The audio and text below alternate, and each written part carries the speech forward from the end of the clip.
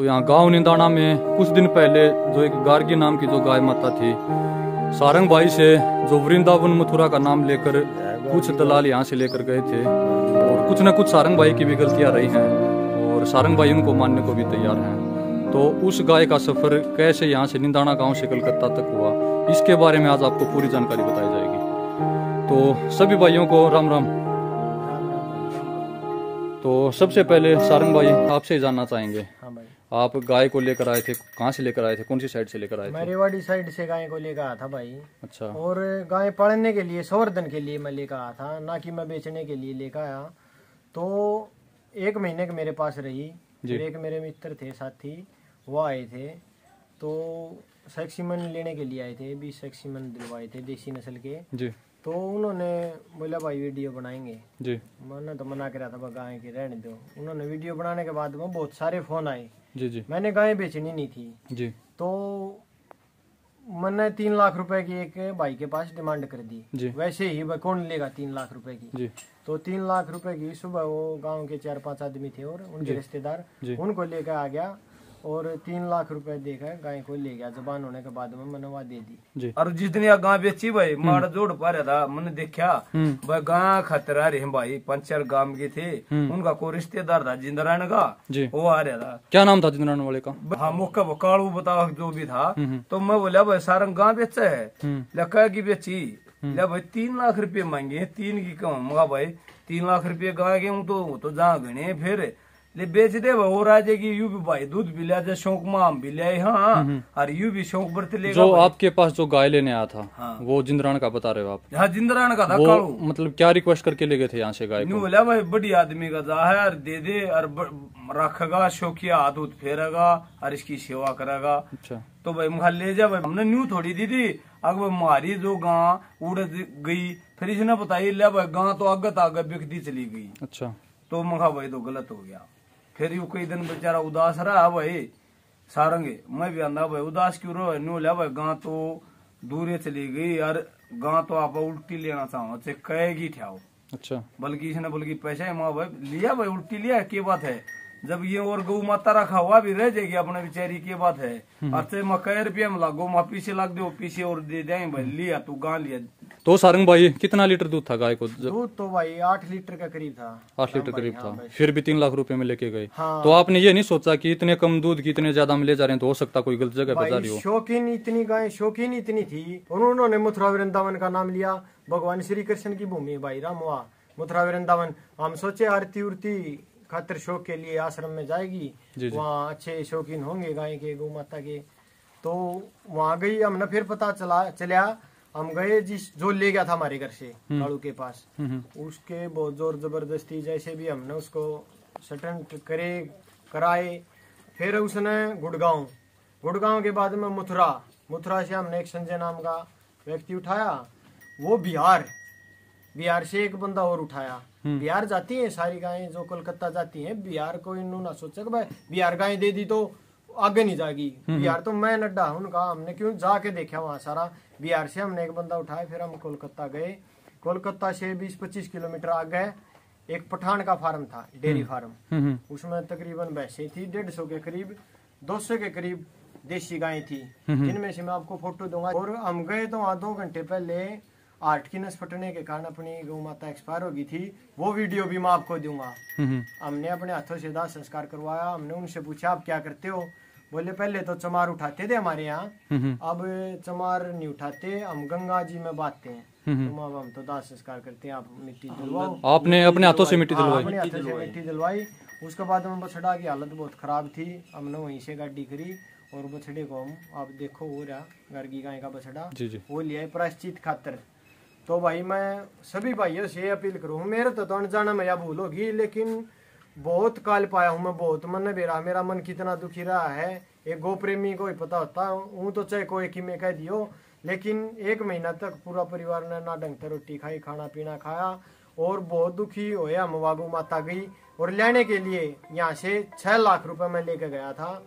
अगर भाई, साढ़े चार लाख में बात हो रही है और डेढ़ लाख रुपए खर्चा लग जाएगा। लेकिन गौ माता नहीं आड़ पाई, हम फिर उसको बछड़ों को प्राश्चित करने के लिए माँ बछड़ा लेके आएँगे।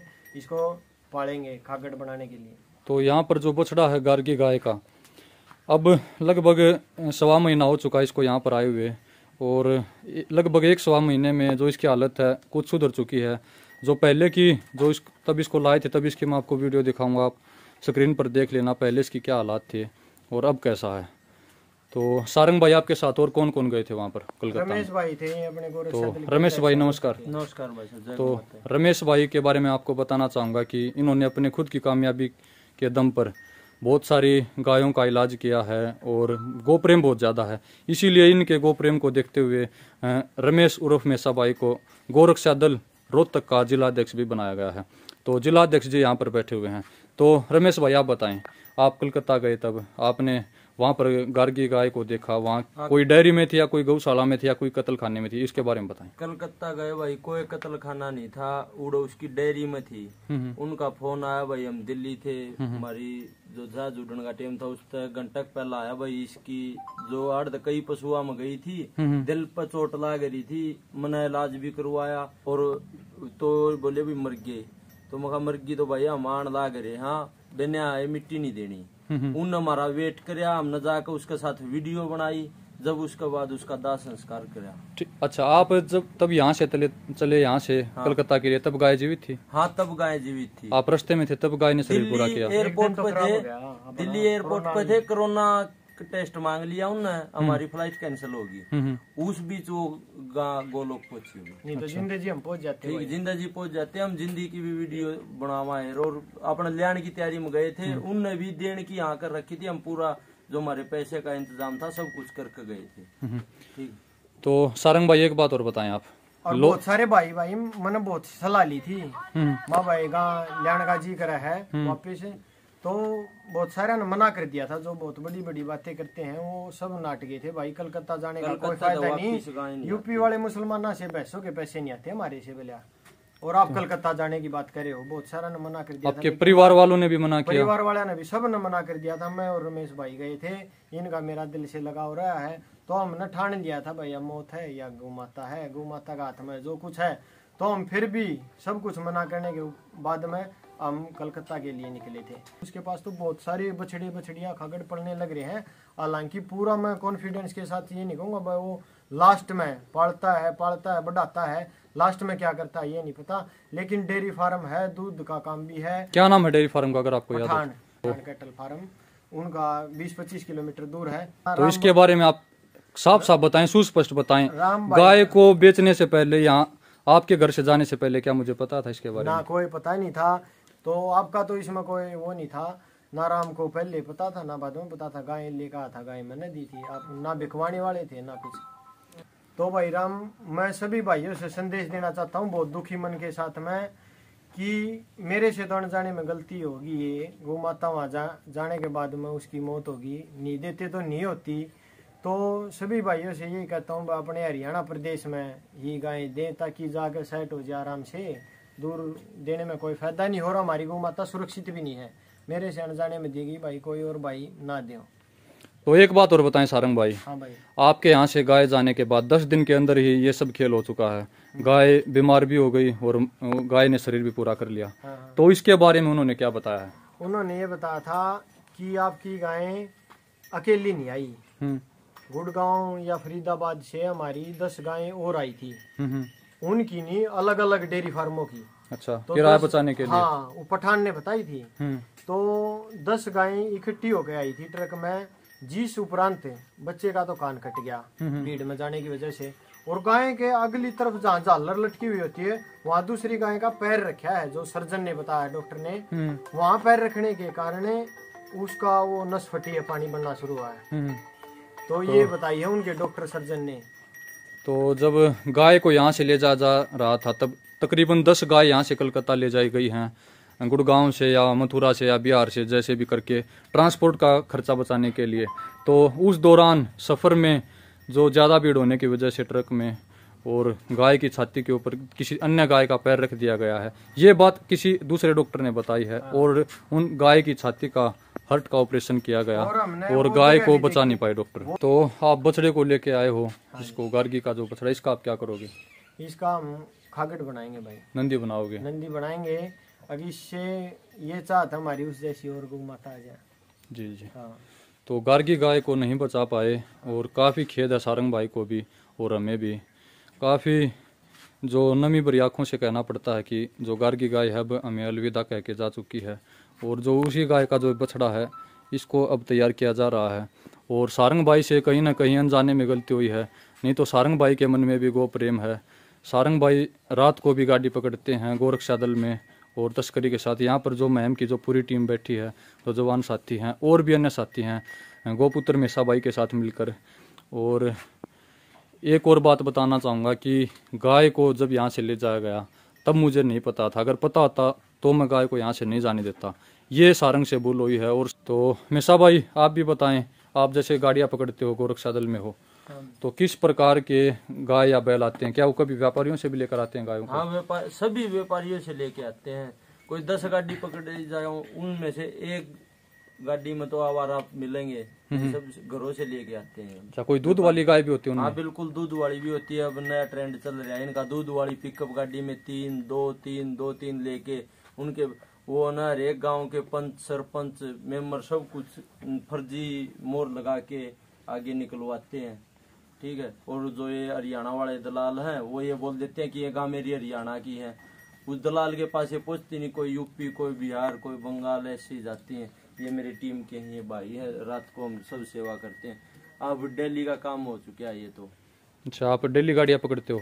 हाँ 2021 में हमने करीब करीब तेईस या चौबीस गाड़ी पकड़ी। तेईस से चौबीस गाड़ियाँ पकड़ चुके गाड़ी में कम से कम बीस गौ माता तो जगह भी इतनी नहीं होती फिर भी बहुत ज़्यादा हाँ। जगह है पाँच गायों की और उसमें रखते हैं बीस बीस गायों को। हाँ जी। तो व्यापारियों से लेकर आते हैं मेसा भाई ने भी बताया है कि दूध वाली लेके आते हैं और हम तो आँखों देख के आ रहे हैं भाई कलकत्ता गई दूध वाली गाय कलकत्ता बिहार झारखंड कहीं भी गई वो यहाँ से जाती है दूध देती है इतना दूध पीते हैं फिर बाद में उसको कटवा देते हैं। जो तस्कर हैं वो काफ़ी सावधान हो चुके हैं। उनके बारे में आपको एक किस्सा और बताना चाहूँगा। इसार के पास में एक गाँव है मैं उन व्यापारियों का उन गाँव वालों का नाम नहीं लेना चाहूँगा। तो उस गाँव में उस व्यापारी के पास नौ गाय थी। सेल के लिए और नौ गाय दो दिन के अंदर अंदर नौ अलग अलग आदमियों को उसने बेच दी। तब उन गायों को बेचा गया। अगले ही दिन वो नौ की नौ गाय तस्करी वाले ट्रक में पकड़ी गई। तो कहने का मतलब ये है कि वो जो तस्कर हैं, वो जियादी हैं, वो इतने ज़्यादा ताकतवर हो चुके हैं कि अलग अलग नौ बंदों से गायों को खरीदा और वो नौ के नौ बंदे उन्हीं के थे और हमारे बीच के ही जो सज्जन व्यक्ति, जो उनके जो साथ में मिल जाते हैं और गायों को इस प्रकार पकड़ के तस्करी तक पहुंचाते हैं तो वो इतने जागरूक हैं गाय को ले जाने के प्रति। गाय को ले जाने के लिए कुछ भी कर सकते हैं, कुछ न कुछ हथकंडे बनाते रहते हैं। तो मेरी अपील है सभी व्यापारियों से कि गाय को सोच समझ कर ही बेचें, उसकी कस्टमर की आईडी लेकर या फिर जो भी उसका गाँव का नाम, पता, सब कुछ लेकर ही गाय को देना चाहिए। किसान किसान को बेचे दलाल को नहीं बेचे। जी जी। तो किसान किसान को ही गाय दे ज़्यादातर। व्यापारियों को देने से या दलाल को देने से बचे। हम यहाँ पर पहुँचे हैं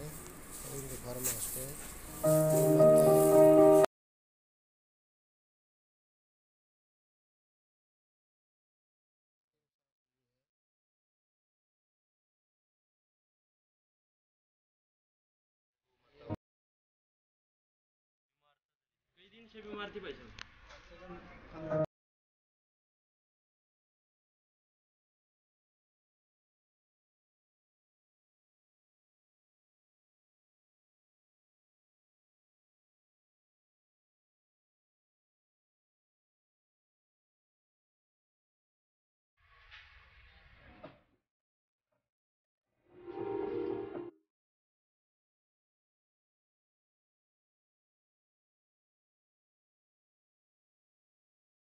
गाड़ी में। कोलकाता से हरियाणा महम ले जाया जा रहा है। गोबूत्र मेसा और सारंग निंदाना के